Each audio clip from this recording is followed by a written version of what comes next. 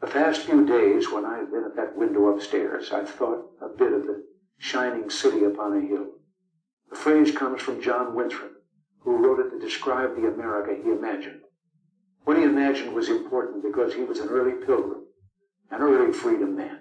He journeyed here on what today we call a little wooden boat, and like the other pilgrims, he was looking for a home that would be free. I've spoken of the shining city all my political life, but I don't know if I ever quite communicated what I saw when I said it. But in my mind, it was a tall, proud city built on rocks stronger than oceans, windswept, God blessed, and teeming with people of all kinds living in harmony and peace. A city with free ports that hummed with commerce and creativity. And if there had to be city walls, the walls had doors, and the doors were open to anyone with the will and the heart to get here.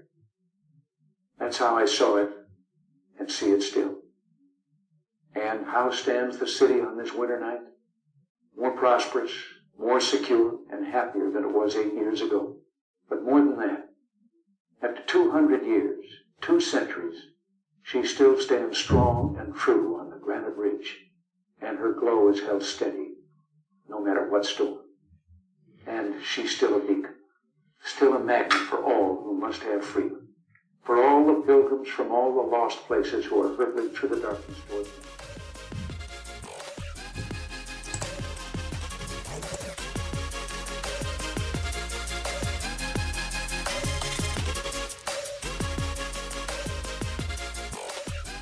Our opening today was from Ronald Reagan. He was reading a speech called City on a Hill, a speech given by a man named John Winthrop.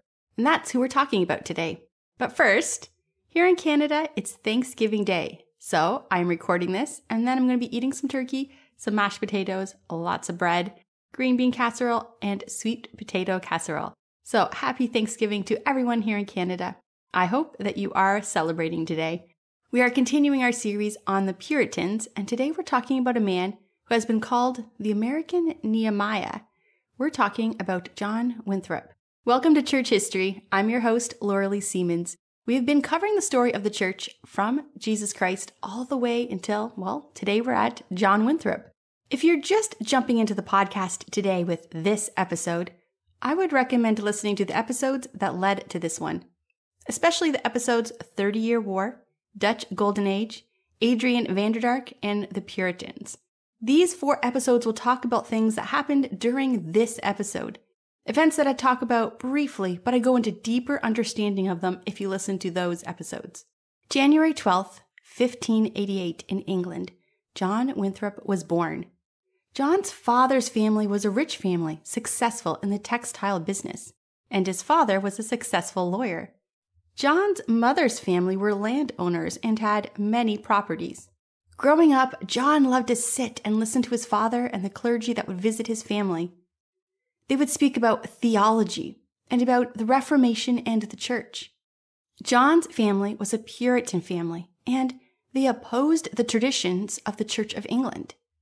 John went on to college, and three of his friends at college became men of history. John Cotton became a clergy in New England and one of the most influential preachers. John Wheelwright was also a clergyman, and he established New Hampshire. Sir William Spring of Pakenham became a Puritan MP in Parliament from 1623 to 1629. We can see from these three men that John spent time in college with other young men who were passionate, and that these men wanted to make a difference in the world. During this time, the Puritans were putting a huge push in the universities and in writing books, and John and his friends were the outcome of this. In 1604, John fell in love with a young woman named Mary. They married and had five children, but only three of those children would survive to adulthood. It was a very hard time for John. As a Calvinist, he believed that everything that happened was part of God's will, both good and bad, and to lose three small children was very difficult. John followed in his father's footsteps and became a lawyer. He saw law as more than a job. It was a ministry. He believed that everything he did was to further the kingdom of God. Because of that, he took the cases of Puritans who were harassed by the law, and often took those cases for no pay. Then, in 1615, his wife Mary died giving birth, and the baby died shortly after the birth. John was now a young widower with three young boys, a lawyer fighting for the rights of men who were Puritans. John married again very quickly, as was the custom in that day, to a young woman who was very strict with the young boys, and she really had a high value on being pious. She became pregnant shortly after the marriage.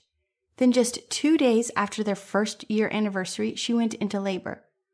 She died during the labor, and her baby died shortly after. John had lost another wife and another baby. Two years later, John married again, a woman named Margaret. Margaret's father was a judge, and her brother, a Puritan preacher. At first, Margaret's father was unsure about the marriage. John was not wealthy. He took many cases for free, and the ones that did pay him didn't pay well. And he had three sons who were older children or young adults, really, at the time. But they saw how much John loved Margaret, and they saw more importantly how much he loved Jesus Christ. So they agreed to the marriage. In 1620, King Charles came to the throne. People were worried about the English Reformation. We talked about King Charles at length in our last episode, The Puritans. The Church of England was worried that the English Reformation was in danger. In 1626, John Winthrop's son Henry left England to help in the creation of an English settlement in Barbados. John loved that his son was part of this, and when Henry returned, the two spent a lot of time talking about the idea of creating a New England, an England where God was worshipped, in England where the Bible was valued, and the people were governed in freedom. During this time, the Massachusetts Bay Company acquired a royal charter to govern a colony in New England. Then, in 1629, King Charles dissolved Parliament, and the country was on the brink of a civil war. There was a huge crackdown on Puritans, they were thrown out of schools and out of all legal jobs. John lost his job he held at the Court of Wards. He could no longer work because he was a Puritan. England was changing. Everything was uncertain. The Civil War was coming. Lines were being drawn, some on the side of the king and some on the side of the parliament. Anyone who claimed to be part of the English Reformation but did not support the Church of England was seen as a traitor and that was the Puritans. The day John lost his job, he wrote this in his journal If the Lord seeth it will be good for us, he will provide a shelter and a hiding place for us and others. John and Henry became interested at this time in the Massachusetts Bay Company. John wrote a paper calling for other Puritans to come and start a New England. A New England with a foundation on the Holy Bible. A New England that God would use as a light to spread his truth and grace back to England and then to all of Europe. The paper that John wrote was printed and passed around and became very popular. John began to actively recruit people for the New England. He made sure they would have farmers, tradespeople, every kind of people. During this time, his wife Margaret became pregnant. John had lost two wives during childbirth. As the time for them to leave grew closer, John was both excited and nervous. He didn't want to lose his wife or child. John's older adult children were excited to leave with him and start new lives as well. But John asked his older son, John Jr., if he could stay behind and take care of Margaret and the baby. But then John had to convince Margaret to stay behind. He promised her that she would come just one year later. He would have a home built for her and the baby. John and Margaret came up with a way to stay connected during the year apart. Every Monday and Friday from 5 to 6, they would sit alone somewhere and just think about each other. Think about each other while knowing the other person was sitting alone somewhere thinking about them. In 1630, just shortly before the boat would leave for New England, Margaret gave birth. She survived giving birth and gave birth to a little girl named Anne. John held little Anne as much as he could before leaving saying goodbye and praying he would see his wife and tiny daughter in one year. April 8, 1630, 11 ships carrying 700 men and children left, heading for the New World. It was either during this voyage or just before this voyage that John gave a speech. It was called A Model of Christian Charity. but it has become known in history as the City on a Hill speech. This speech has been quoted by JFK. Reagan used parts of this speech multiple times. Obama has quoted it, Mitt Romney quoted it, Ted Cruz has used it, and most recently, James Comey used it during his testimony in front of the Senate. What was it about this one speech that impacted the people so much that even today it is still used and quoted? Maybe you're thinking you'd like to hear the whole speech. Well, I want to tell you right now about another podcast that I personally love and listen to regularly. It's actually one of the podcasts I like to listen to while I grocery shop. Just an FYI. It's called Revived Thoughts. This podcast starts with a brief history of a preacher, and then an entire sermon is recreated. Have you ever thought, I'd love to go back in time and just sit in a church and listen to a great preacher? Well, you can. And with this podcast, Revived Thoughts. And guess what? They have a whole episode dedicated to this speech, or I guess you could say a sermon. I'm going to put a link to this in the episode in the show notes, and I highly recommend listening to it. But for today, the hosts have graciously agreed to allow me to play a portion of that podcast here. So here is part of the speech that Winthrop gave. Now, the only way to avoid this shipwreck and to provide for our posterity is to follow the counsel of Micah. That is to do justly, to love mercy, and to walk humbly with our God. For this end, we must be united in this work, as if we were one man. We must entertain each other in brotherly affection. We must be willing to forget our desires for the supply of others' necessities. We must conduct business together in all meekness, gentleness, patience, and generosity. We must delight in each other. Make others' conditions our own. We should rejoice together, mourn together, labor and suffer together, always having before our eyes our commission and community in the work. We are members of the same body. So we must keep the unity of the body in the bond of peace. If we do, the Lord will be our God and will delight to dwell with us as his own people. And he will command a blessing upon us in all our ways so that we will see much more of his wisdom, power, goodness, and truth than we have ever known.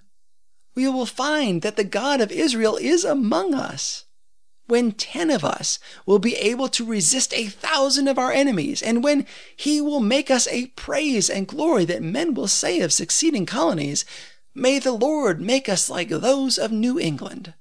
For we must consider that we will be as a city on a hill. The eyes of all people are upon us.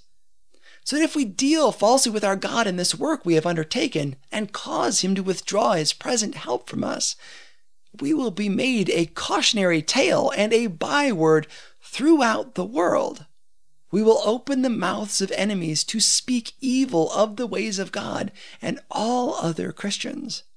We will shame the faces of many of God's worthy servants and cause their prayers to be turned into curses upon us till we are consumed out of the good land where we are going. Let us end this sermon with the exhortation of Moses. Moses, the faithful servant of the Lord in his last farewell to Israel, Deuteronomy 30. Beloved, there is now set before us life and death, good and evil. Here we are commanded this day to love the Lord our God and to love one another.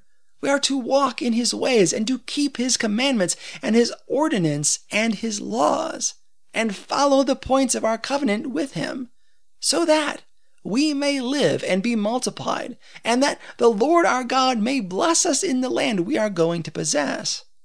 But if our hearts turn away, so that we do not obey, but are seduced to worship other gods with our pleasure and profits, then it is declared from us this day forward, we will surely perish out of the good land that we are passing over this vast sea to possess.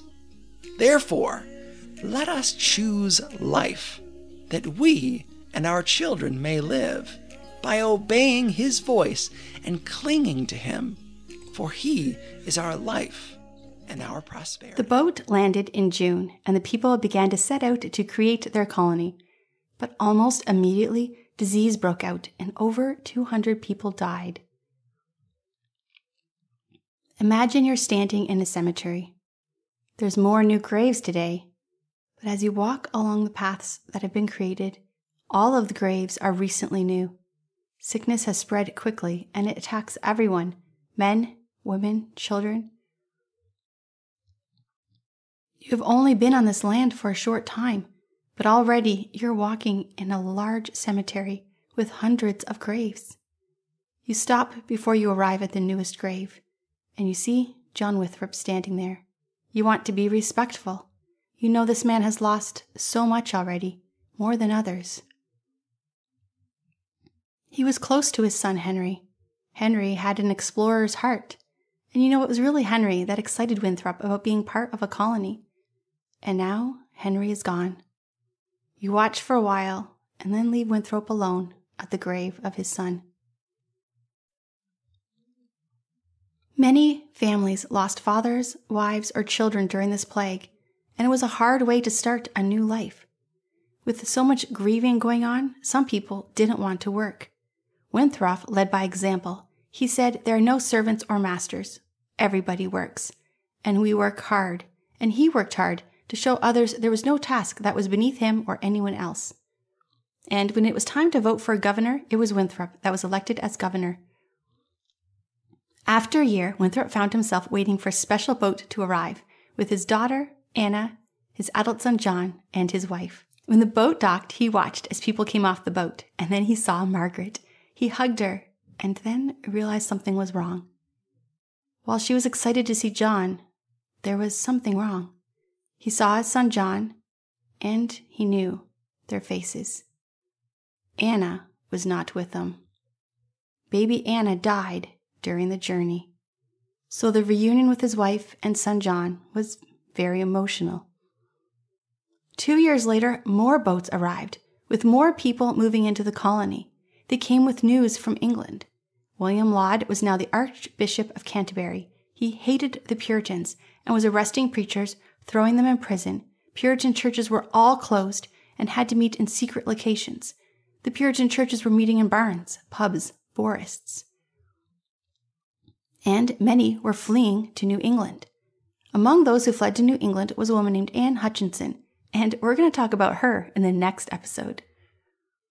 William was the governor, so he had to deal with the problems and complexity of setting up this colony. One of the complexities was dealing with the native tribes. Each tribe was different, and tribes had treaties with each others. They also had rivals and wars between each others.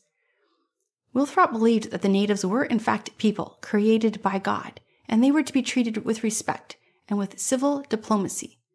They began to trade with different tribes. But one day, a man named John Stone and seven of his men were killed by a tribe called the Pequots.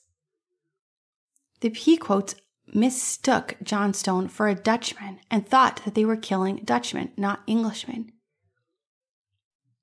The Pequots were at war with the Dutch.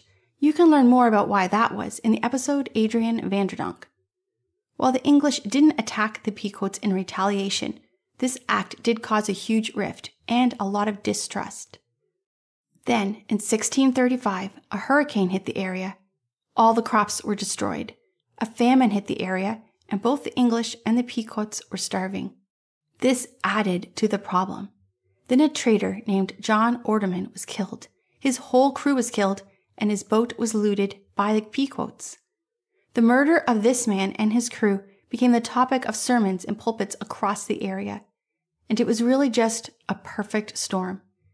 Englishmen began raiding the Pequots' tribes in revenge. The Pequots then asked other tribes to join them to fight the English. While all of this was going on, a university was started in New England. Harvard University. It was founded as a school that would train the young men to love God, preach the word of God, and know the law. That same year, in 1637, civil war broke out between the Pequots and the English. The English won the war, and the Pequot tribe was spread out and was no longer a tribe.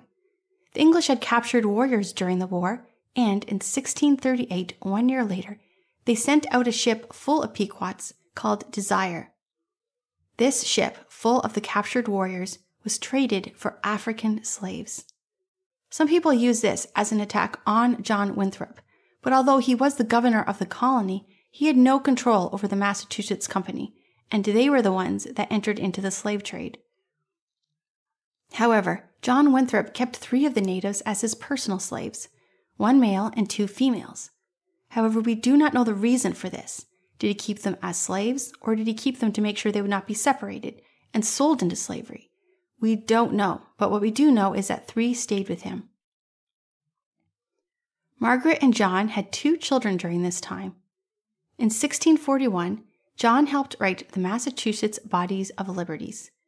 This gave people the right to trial by jury, free elections, free men were allowed to own property. No cruel or unusual punishment was allowed, government couldn't seize your property, and no forced self incrimination during trials. But they also needed to address slavery. Slavery had been brought to Massachusetts before Winthrop had arrived. Samuel Maverick had brought slavery over in 1624. In the Body of Liberties, this is what they wrote There shall never be any bond slavery, village or captives among us, unless it be lawful captive, taken in a just war, with such strangers as willingly sell themselves or are sold to us. So, it was anti slavery with exceptions Today, we just see this as being pro slavery. There can't be any exceptions to slavery. We can't be anti slavery with exceptions. You're either pro slavery or against it. Now, we see that today. Before we judge, think about the issue the church has laying before them today. I am a pro life advocate, and what I hear often when I talk to people, especially Christians, is that many of them are pro life with exceptions rape, life of the mother is at risk, extreme disability for the child, incest. But can you be anti abortion with exceptions? I believe that the men putting together this body of liberties thought that saying they shall never be any bond slavery, village, or captives among us, they were doing a good thing. But when they added the word unless, followed by exceptions, they went down in history as being pro slavery. At the same time, it is inaccurate to say that they created slavery. Slavery was always part of the history of the world. Instead, what we can see is that right from the start, slavery was a controversy. We're going to hit on this topic many, many, many more times over the next couple of weeks, really the next couple of months. The church was going to need to deal with this issue and take a stand, with no exceptions. Had John not added the unless to the body of liberties, the body of liberties would have gone down in history as probably the most amazing piece of writing ever. A few years after this was written, June 14th, 1647, Margaret died. Now a widow once again, John married one more time. This time it was another widow. A friend of his named Thomas had died, and a widow alone in this new world needed to have a husband. So John married her. And two years after he married her, John died of natural causes on the 26th of March, 1649. And that is our story of John Winthrop. There are so many lessons that we can learn from his life. And there's so many lessons that can be learned from many of the Puritans' life. And next week, we're going to dive into a few more of those stories. In the meantime, for Canadians, happy Thanksgiving. And for everyone else, I'll see you next week. In the meantime, if you want to hear more podcasts, blogs, or lots of videos, including, by the way, my video series on the abortion debate, you can check out my website, loreleesiemens.com. I'll see you next week.